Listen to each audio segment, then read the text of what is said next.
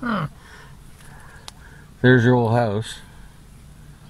Right? You're taking a picture? Yeah, and well, video, right? And there's a shed in the back, you know. That's Dad's old shed. You think it's falling apart there, right? Yeah.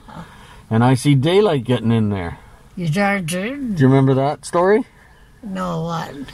Dad said, Why is there daylight coming through there on the shed? You know, because it wasn't put together quite right. So it was like that for years. And uh, Bobby said, so that Dad couldn't hear, he said, Because it's daytime?